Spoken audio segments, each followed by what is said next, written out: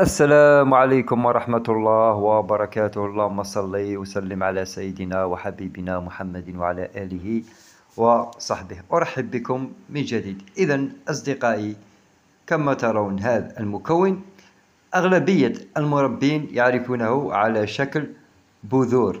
أما الآن كما ترونه مطحون.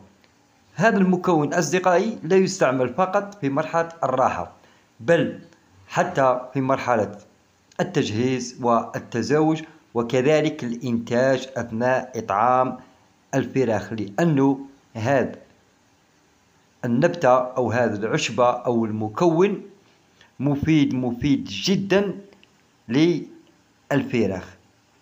إذا ما رأيكم فيه؟ وكيف ترون هذا المكون؟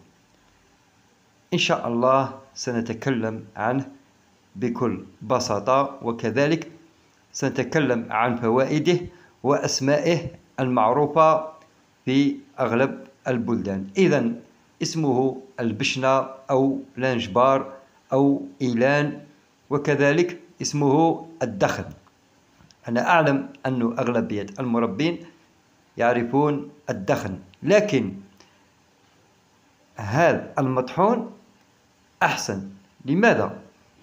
لأنه يخلط مع الباتي يعني أثناء مرحلة الراحة كما قلنا والتجهيز والتزاوج وأثناء إطعام الفراخ. وهذا هو المهم حيث يساعد الفراخ على النمو بسرعة ويقوي مناعتها.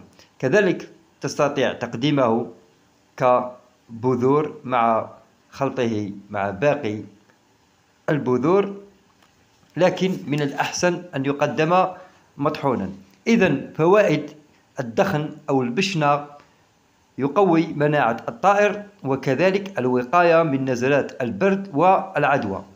يساعد على تنقية جسم الطائر وخاصة الكبد من تراكم الدهون الضارة لأنه مع تقديم بعض البذور التي تحتوي على كميات كبيرة من الدهون يجب تقديم هذا النبتة أو هذا المكون للطائر إن شاء الله لكي نقضي على تراكم الدهون الضارة. كذلك أصدقائي من الأهم في هذا العشبة وهو يحتوي على كمية كبيرة من الكالسيوم كذلك على العديد من الفيتامينات والمعادن التي تعمل على تحسين جسم الطائر وتقوية ريشه. وكذلك أصدقائي يحارب التوتر عند الطيور. إذا كان لديك طائر صيد جديد تستطيع أن تقدم الدخن أو البشنة عن طريق بذور كما قلنا مع خلطها مع البذور الأخرى أو وضعه مطحونا كما ترون مع الباتي. ركزوا أصدقائي على تقديم هذا المكون خاصة للأنثى لأنه يحتوي على الكالسيوم وشكرا